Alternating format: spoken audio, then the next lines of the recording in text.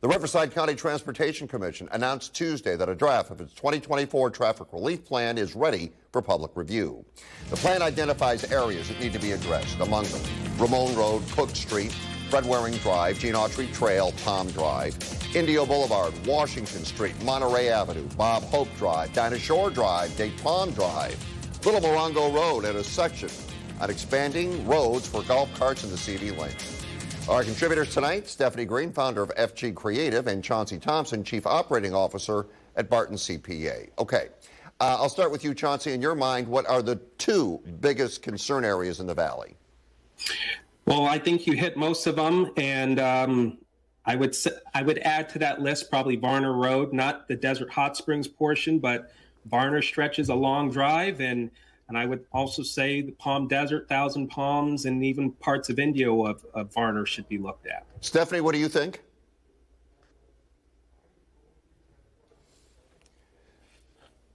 All right, we're having some trouble hearing Stephanie. We'll get those problems fixed. Chauncey, uh, okay, you identified issues. Here's the concern. Why aren't they ever fixed? Everybody can identify the issues.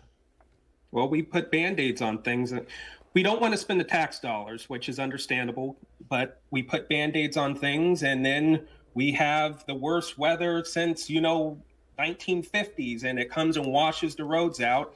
And, you know, those temporary patches that we've done with tar and, and uh, cement, it does nothing. It washes all away. So um, we, we should look at more sustainable long-term investments that's going to cost us a little bit more now, but it'll be less in the future when we think of inflation and just get the job done right. All right, Stephanie, I think you're back. I'll ask you real quick. Uh, why, if we know where the problems are, why don't they get fixed?